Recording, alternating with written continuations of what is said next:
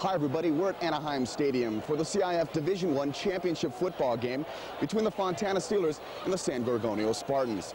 This championship weekend marks the end of the 1989 high school football season. But how pleased we were at Simmons Cable TV to bring you 11 exciting weeks of high school football coverage. And tonight we'll take a look back at this past season.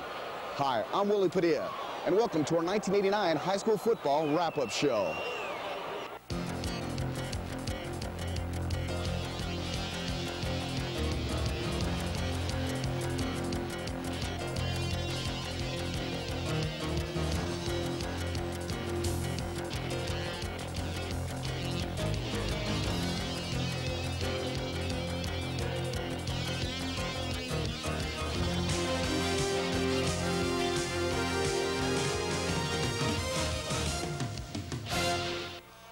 The first half of a football season, very much like the first half of a football game, is filled with finding strengths and weaknesses, both the opposition's and your own.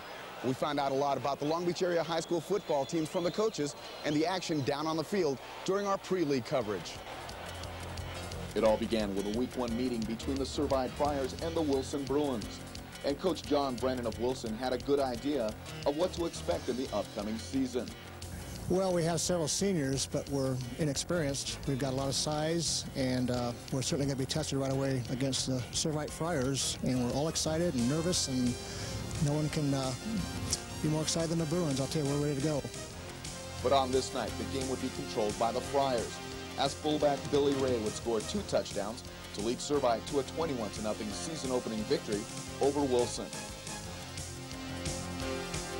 While most teams already had a game under their belts, week two marked the season opener for both Banning and Poly high schools. And Jackrabbit co-coach Jerry Jaso knew that this game would be a good test. Yeah, it's uh, a little bit too early in the season, John, for Banning, but uh, I can't blame anybody but myself because I scheduled the game, you know what I mean? So we're here, we've had three weeks to prepare for it, and we're really excited about this game. It's, you know, it's always a great one to play Banning. And Poly wasted no time in getting on the scoreboard. Garcia kicks it off and we're underway as Green gets it at about the 12. Green breaks it. He has room. He may go all the way. There goes Andre Green. Long Beach Poly's going to get on the scoreboard on the opening kickoff. Touchdown, Jackrabbits. Poly would eventually lead 9-0 before Banning would get on track. He gets it into Davis's hands. Davis gets some room. He breaks a tackle. He might go all the way. He probably will. There goes Davis all the way for Banning. Touchdown Pilots. The Pilots would score again to make it 14 to 9 at halftime and would eventually put the game away late in the fourth quarter on John Mai's 17-yard touchdown run.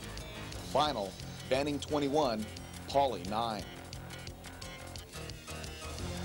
In week three, an undefeated Millikan team faced Redondo High School in a game Ram coach Dave Radford joked would be an aerial circus. Uh, I don't know. We try to put the spiral in our playbook, and we'll, we'll take a look at it tonight. But it was the ground game, led by Lincoln Starks, who had scored two touchdowns, that led the Rams to a 21-10 victory over Redondo. Week four brought us to St. Anthony for homecoming and a meeting with St. Genevieve in a big game for Ralph Godfrey's Saints. And we have a lot of young kids, uh, juniors and sophomores, uh, starting out there. First time playing varsity ball. It's, they're going in their uh, fourth game now. And uh, I think we're going to see what some of them really made of tonight. And St. Anthony responded, led by Dave Carrillo's 108 yards rushing and two touchdowns, as the Saints rolled past St. Genevieve 27 to 3.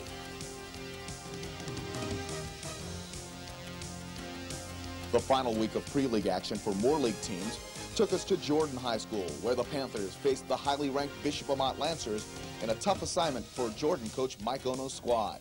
Yeah, we're, we're, we're excited about playing Bishop Amat. You know, we're up for the game also. Uh, we're going to start a sophomore quarterback like we talked about last night on your show, and, and he's excited to be here. We're excited. You know, we showed up, they showed up. It'll be a fun game. Unfortunately for the Panthers, Bishop Amat rolled to a 31-7 victory, keeping Jordan winless in pre-league games for the second straight year.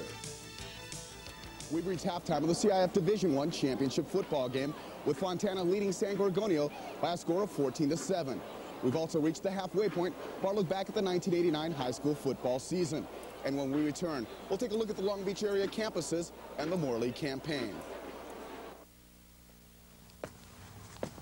People who deal in drugs ride in expensive cars.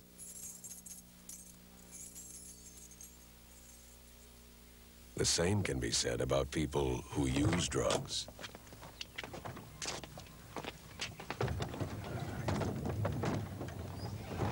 If you or someone you know has a drug problem, call Habilitat before you get the ride of your life.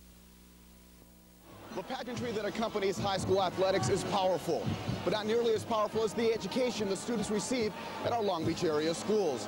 That's why at halftime of each of our games of the week, we took a look at the campuses of our Long Beach area schools.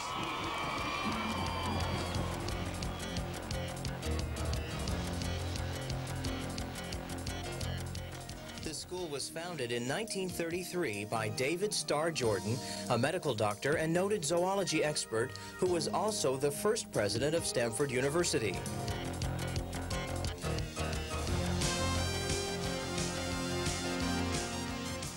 Millikan High School. Established in 1956, Millikan High now has 3,200 students and has graduated over 26,000.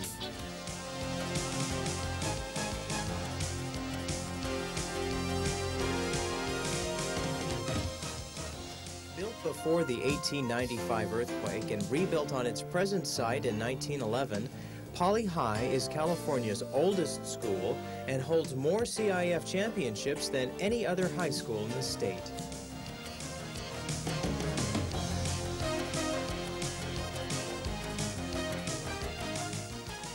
St. Anthony High School, a Catholic coeducational high school operated and supported by St. Anthony Parish, was founded in 1920 by the Immaculate Heart Sisters.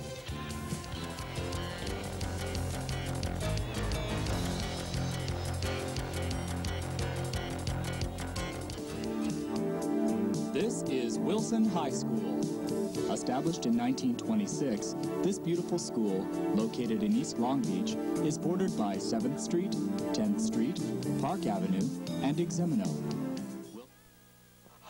The pageantry and excitement of halftime is now over.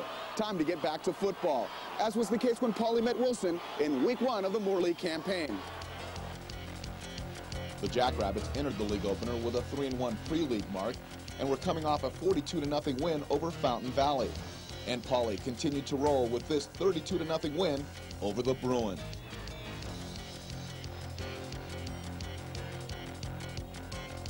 That left the standings combined with Millikan's win over Jordan and Lakewood's victory over Compton looking like this out of the gate. The Poly defense was the story in week two of league play as the Jackrabbits sacked Jordan quarterback Ted Ramirez eight times and picked off two of his passes, including this one returned for a touchdown by Roderick Matthews. Final Poly 21, Jordan 10. The victory kept Poly atop the league standings, along with Lakewood, a winner over Millikan. Wilson moved to 500 with a one-point win over Compton. Week three of league play brought Poly and Millikan together for a big game for both schools. And the Jackrabbits were able to overcome a 6-0 halftime deficit to beat the Rams by a final score of 14 to 6.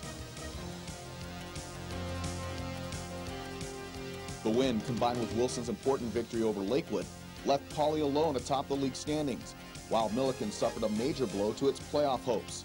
Jordan, meanwhile, picked up win number one of the year over Compton. A Week 4 showdown between Millikan and Wilson had playoff implications for both schools. And it was the Bruins who took advantage as Mike Stewart's 20-yard touchdown run in the first quarter and Ben Polk's one-yard touchdown plunge in the third propelled Wilson to a 17-0 shutout over the Rams. With the wins, Wilson secured a playoff spot, as did Lakewood with its win over Jordan. And Poly, with its victory over Compton, secured at least a share of the Moore League crown. The fifth and final week of the Moore League season featured a championship showdown between the 4-0 Jackrabbits and the second place 3-1 Lakewood Lancers. But a couple of short runs were all it took as Poly beat Lakewood 14 to nothing. The win gave Poly the outright Moore League title while Lakewood dropped to third. Wilson sewed up second with a victory over Jordan, and Millikan dropped Compton.